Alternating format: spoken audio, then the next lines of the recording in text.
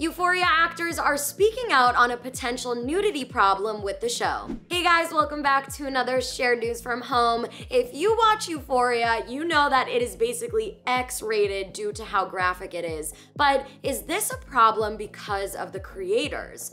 Before we get into it, make sure that you subscribe to our channel and ring the bell so you don't miss out on any future videos. Many actors from the show have been doing a lot of press since the premiere of season two, and a common theme in all of these interviews that comes up is the topic of the excessive nudity in the show. Minka Kelly, who has been a guest star during season two, playing a rich mom of a kid who Maddie babysits, just spoke with Vanity Fair about her appearance. She revealed that her character was supposed to be naked during her very first scene. Her character is originally seen coming back from home after a night out, and she asks Maddie to help unzip her dress.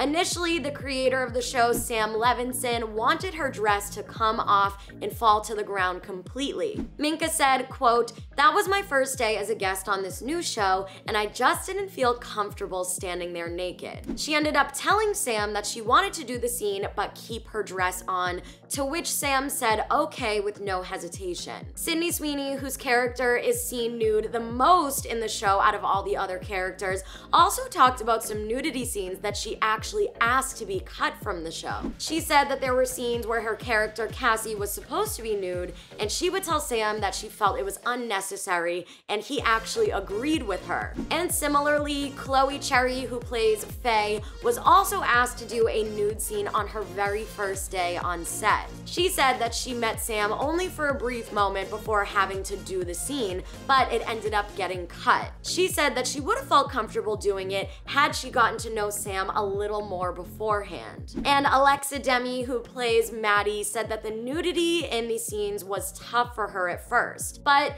it pulled her out of her comfort zone and she realized that it is not that serious. And Zendaya, on the other hand, made it a point in her contract to establish that she wouldn't do any nudity scenes whatsoever. Now, although the show has been praised by many, it has also been criticized by fans because of the amount of nudity in the show. People have even accused Sam of being creepy due to the amount of nude scenes that he wanted. And it's also been said that Sam and Barbie Ferreira, who plays Kat, have had some tension behind the scenes and this caused a lot of her scenes to be cut from season 2 after she allegedly stormed off of the set due to reasons unknown. But regardless, the show has been greenlit for a season 3. And you guys, maybe after all of this criticism from fans and even the actors themselves, the show may change its ways once they start filming season three. But honestly, you guys, I have faith in Zendaya, you know, being the executive producer of the show, that she won't let anyone on set feel uncomfortable or have any scenes go way too over the line. But